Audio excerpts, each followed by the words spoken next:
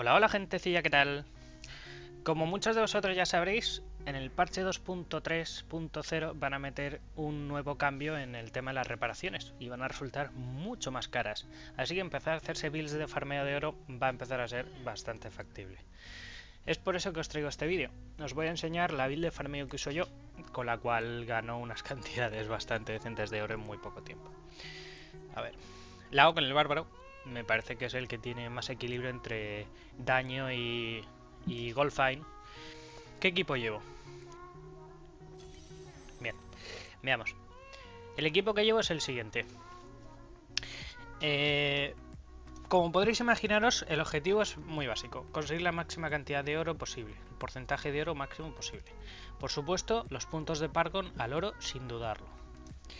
Entonces, llevamos un casco editado para llevar hallazgo de oro y con la gema del oro con el efecto lo más duplicado posible. Este casco solo ya nos está aumentando muchísimo la cantidad de oro que encontramos.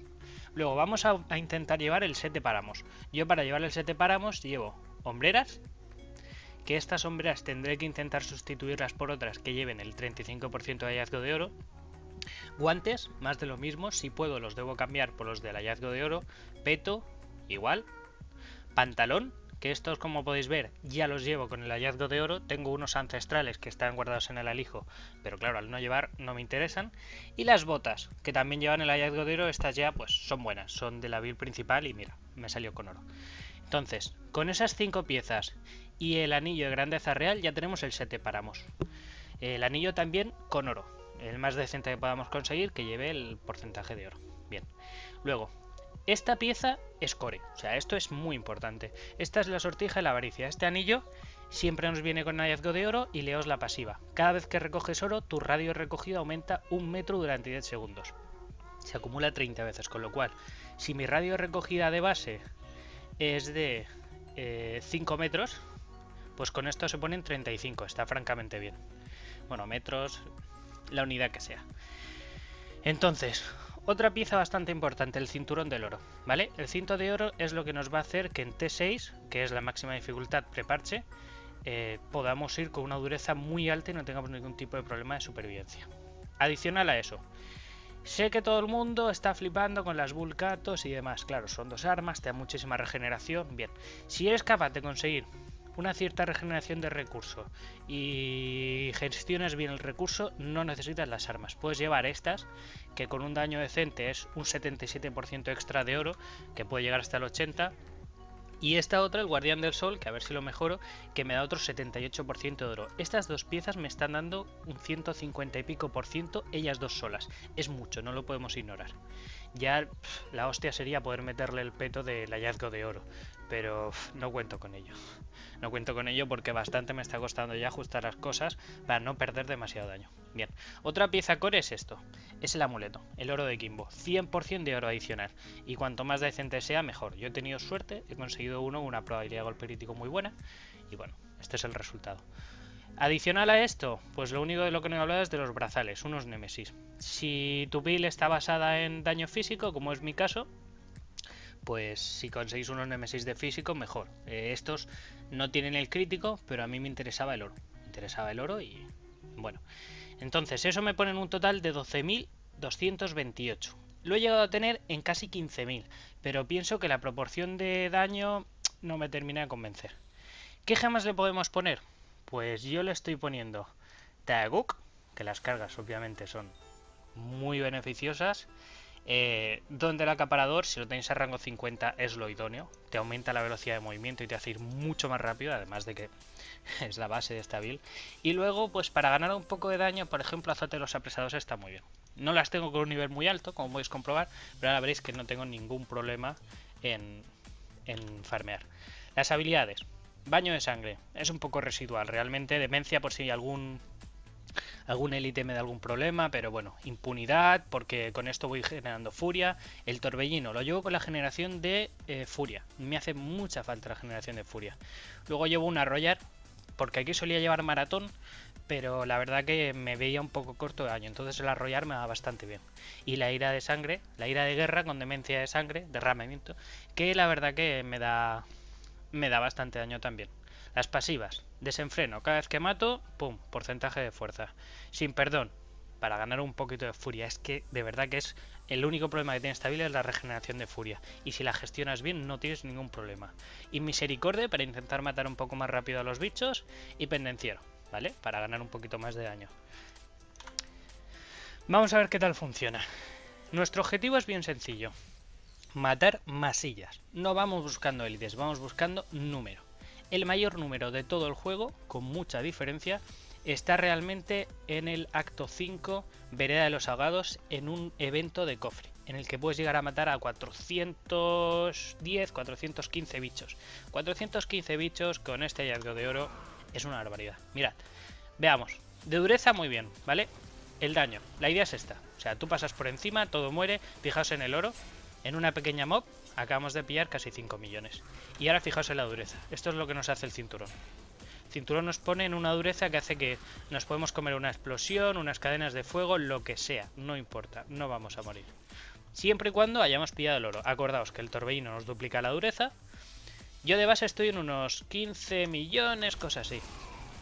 No tiene más. Cada vez que tengamos los casteos, tiramos el grito de guerra y tiramos el, el arrollar. No tiene más. Y a ver subir los números. Si en algún momento, como ahora, entre montón y montón, el problema que tiene, o al menos que yo encuentro que no termina de ser todo lo eficiente que podría, es el tema de, de la Taeguk. Estamos perdiendo ahora mismo las cargas cada vez que nos movemos. Renta, no renta, no lo tengo yo muy claro. La verdad, sinceramente, yo diría que sí renta. Yo lo he probado con otras, lo he probado con toxina, lo he probado con, con otras muchas opciones y yo diría que sí renta. Sitios óptimos para testear la build. Bosque infecto. Sitios óptimos para farmear. Galerías del Calvario están muy bien, porque son zonas muy densas. Nos interesa matar muchos bichos de poca dureza y a ser posible a melee. Si, si te da por ahí, hay mucha gente que se va a campos yermos. Problema de campos yermos. Todos o casi todos los bichos son de rango.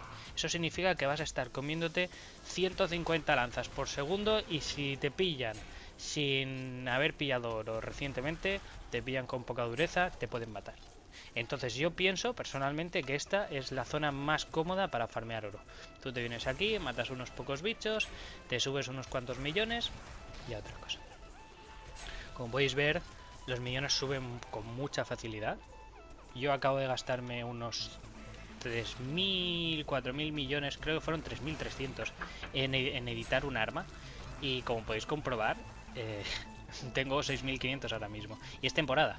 Esto es temporada, con lo cual, imaginad lo que tengo normal.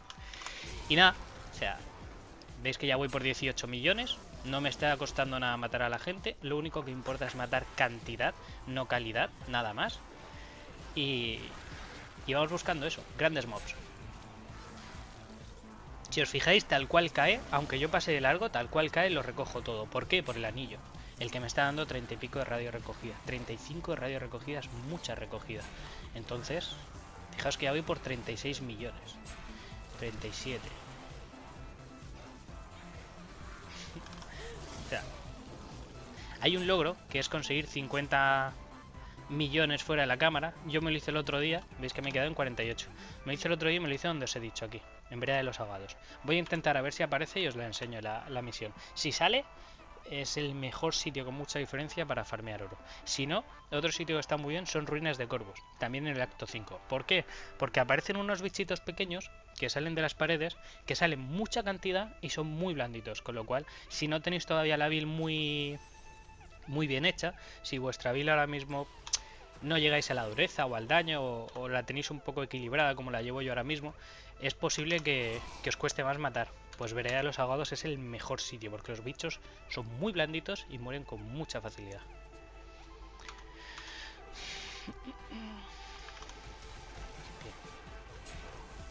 En esta zona, a ver, para cosas como esta, que me he comido una trampa, es para lo que llevo el... Bueno, yo lo llamo Super Saiyan, la cólera enloquecida que es para eso. Si en algún momento veo que me frenan, mi intención no es matar élites. Yo voy a pasar de largo porque eso no me interesa. Mi intención es eh, matar cosas pequeñas, mucha cantidad. Así que si me bloquea algo, si algo me para, yo tengo intención de pasar de largo. Pero bueno. Os recomiendo que si os sale la misión directamente, o sea, cuando le dais aquí que os salga la misión, no recuerdo el nombre, os lo buscaré ahora y lo meteré. Eh, mira, esto es. ¿Veis? Que es, esta es eh, tomar la colina o algo así. Pues esta es la zona. Lo único que hay que hacer es venir a esta zona, a este montículo, ¿vale? Y aquí arriba aparece un cofre de evento. Cuando haces el evento, ¿vale? Fijaos en, el mapa, tenéis que buscar este montículo de aquí. Y en ese montículo en la parte de arriba saldrá un cofre rojo. Cuando lo activéis, van a empezar a salir bichitos pequeños de estos, de estos chiquitines. Salen más de 400. Os pondré ahora una imagen. Y es impresionante. Aquí es donde realmente yo llegué a alcanzar 60, 70 millones. Es una barbaridad. Es muy buen sitio para farmear oro. No recuerdo en cuánto estábamos cuando empezaba el vídeo, pero como habéis comprobado, es una forma muy lucrativa de ganar oro rápido, efectivo. Yo pienso que muy, muy escalado, no, no, he sufrido demasiado. Ahora cuando metan el parche seguramente podré probarla en T7, T8, T9. Es muy probable que los límites de esta build teniendo en cuenta el daño y la dureza que tiene, esté en torno a los al T7, creo yo, T8 quizá. Si le quitamos, si renunciamos a un poco de oro y cambiamos estas dos por la Vulcatos, es muy probable que entonces ya podemos llegar a T10 sin problemas. Pero tal y como está ahora, probablemente en torno a T7 podamos farmear bastante bien. Y nada más gente, espero que os haya gustado el vídeo. Hasta luego.